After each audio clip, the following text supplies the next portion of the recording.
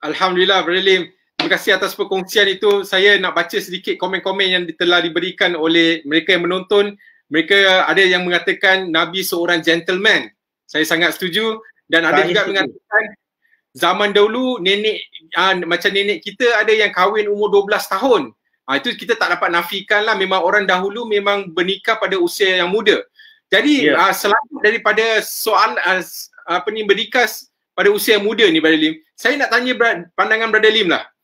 Ya. Yeah. Apakah pandangan pandangan Brother Lim kalau sekiranya lah orang non-Muslim tanya kepada kita, ya. Yeah kalau Nabi kamu boleh bernikah dengan Aisyah pada umur 6 tahun, ya. sekarang orang Islam boleh tak bernikah dengan budak umur 6, 6 tahun ataupun 9 tahun? Bagaimana kita nak jawab tu?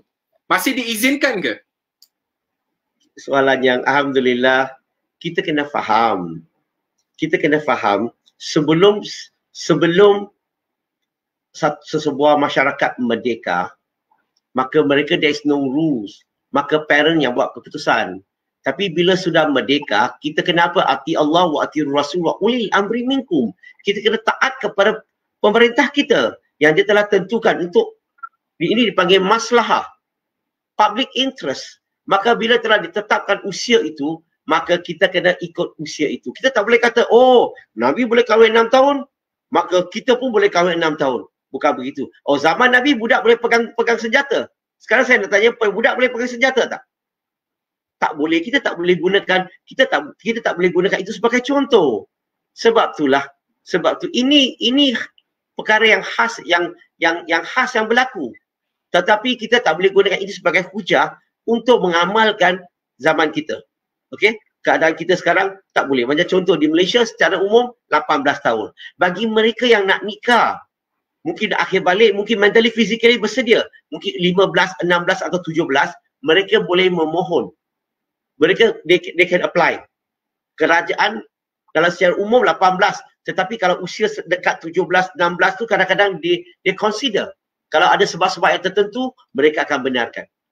Itu terpulang kepada pemerintah. Kita tak masuk campur tetapi standard skrip 18 tahun ke atas. Wallahu alam. Alhamdulillah satu penjelasan yang sangat baik Lim. Saya rasa dengan penjelasan yang apa Brother Lim kongsikan tadi itu kita boleh mengambil satu pelajaran bahawa tidaklah semestinya kita ni harus bereaksi ataupun terus marah kepada seseorang yang melontarkan fitnah terhadap Nabi kita Nabi Muhammad sallallahu alaihi wasallam. Tidak dinafikan kita sebagai umat Islam yang cinta dan sayang kepada Nabi kita, kita mestilah ada terasa hati. Tetapi dalam masa yang sama juga kita haruslah kawal perasaan kita sebab apa dalam kita uh, apa ni uh, contohnya macam kami yang terlibat dalam kerja-kerja dakwah ni kita selalu letakkan dahulu situasi kita dalam sepatu orang lain. Kenapa orang ni bereaksi sedemikian? Ataupun kenapa orang ni dia bertindak demikian?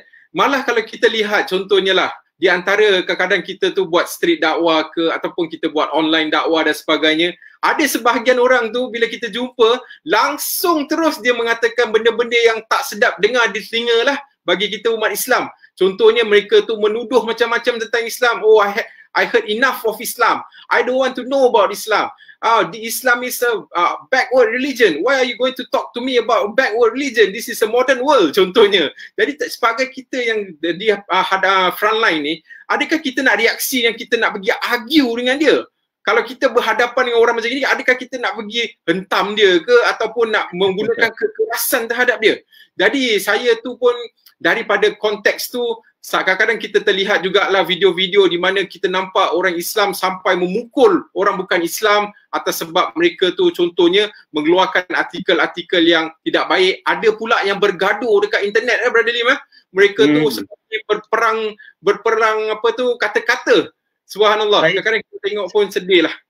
Saya cadangkan kalau bila kita buat street dakwah ataupun kita dakwah kat mana-mana kalau orang attack kita dia bagi macam-macam tuduhan Okay. Kalau boleh kita relax. Okay.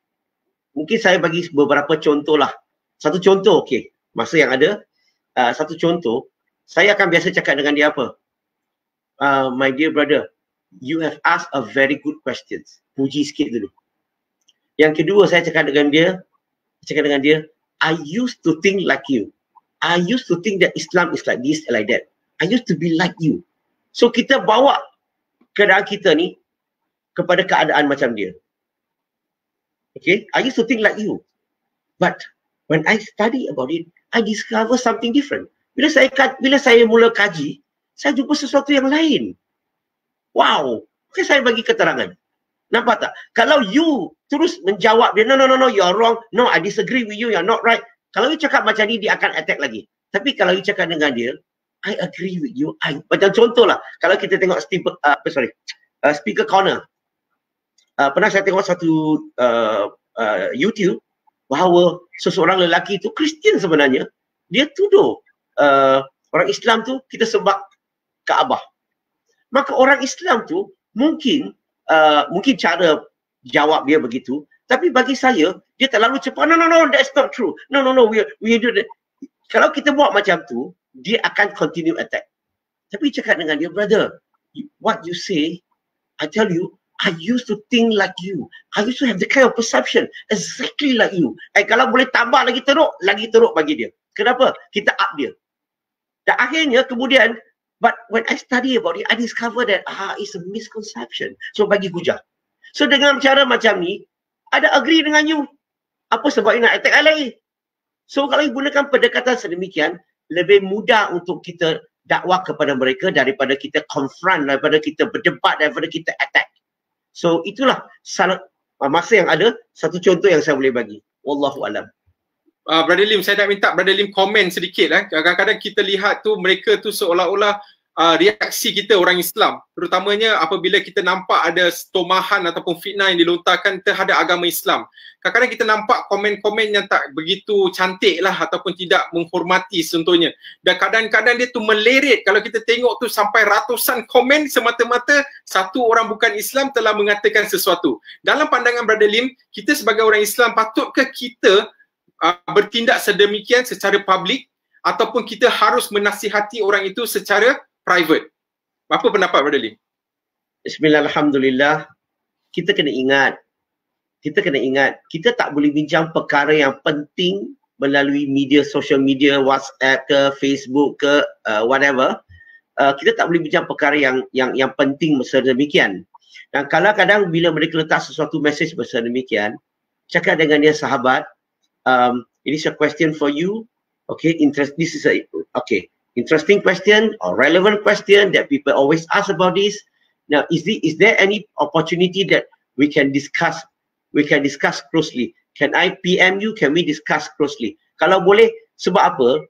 Eh, kalau boleh nasihati orang Islam juga, jangan terlalu cepat marah, maki dan sebagainya. Kita kena faham apa yang kita buat sekarang, sebenarnya kita bagi ramai orang baca, ramai non-Muslim lihat. Dia tengok orang Islam, ayo tengok Sikit-sikit barang, mau bakar Madera. Sikit-sikit barang, maki. Cakap Islam tu baik. Islam tu aman damai. Islam is peace. Islam bagus. Tapi tengok, ratus ribu orang Islam maki hamun. Sebab itulah saya minta lah muslimin muslimat terutamanya pendakwa-pendakwa kita elaklah daripada uh, uh, uh, uh, kita argue ya dengan orang bila orang tanya atau orang tuduh saya lebih suka message PM dia private is it is it okay? Can I invite you to my office? That uh, we have some uh, we go can go for a meal lunch makan dulu lepas tu kita borak-borak ke jadi kawan. Daripada jadi lawan jadi kawan kita dakwah. Mana tahu orang-orang yang attack-attack ni akhirnya jadi Islam masuk Islam. Jadi jadi Islam dia akan jadi pendakwa yang sangat hebat. Ya pendakwa yang sangat hebat. Ya macam Saidina Umar radhiyallahu anhu. Dia ni you ingat dia suka Islam dulu dulu Ha. So berarti kalau bagi saya everybody are potential. Everybody is everyone is opportunity. Tapi point di sini adalah kita kena sampaikan message itu pastikan message itu sampai dulu cara hikmah. Itu cadangan saya lah. Cadangan saya. Sebab kita bukan nak menang hujah. Kita nak menang hati. Wallahu alam. Baik, Bradley, kita ada satu soalan ni daripada sahabat kita yang itu nama dia Hassan Ismail. Dia bertanyakan soalan mengenai umur Aisyah radhiyallahu anha iaitu bagaimana riwayat yang mengatakan Aisyah ikut perang Badar. Rolim, masih kanak-kanak atau sudah cukup dewasa? Silakan. Allah